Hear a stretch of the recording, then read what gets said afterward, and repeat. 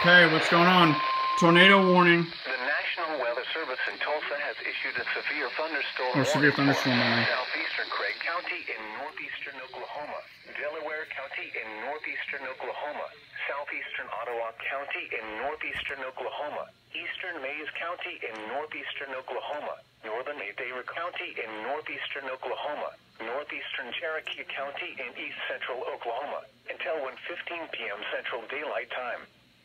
At 12:30 p.m. Central Daylight Time, severe thunderstorms were located along a line extending from 4 miles north of Pensacola to 4 miles north of Rosedale near Hulbert, moving east at 35 miles per hour. Expected hazards include 60 miles per hour wind gusts and quarter-size hail. This is a radar-indicated threat. The following impacts are expected. Hail damage to vehicles is expected.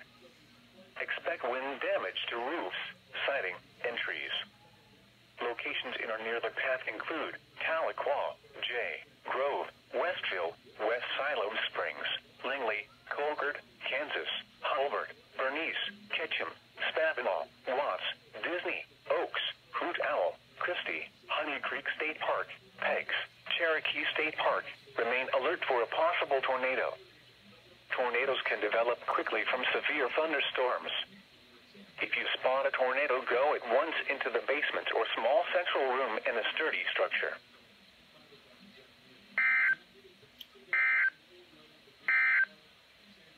The current time is 12:33 p.m. Central Daylight Time.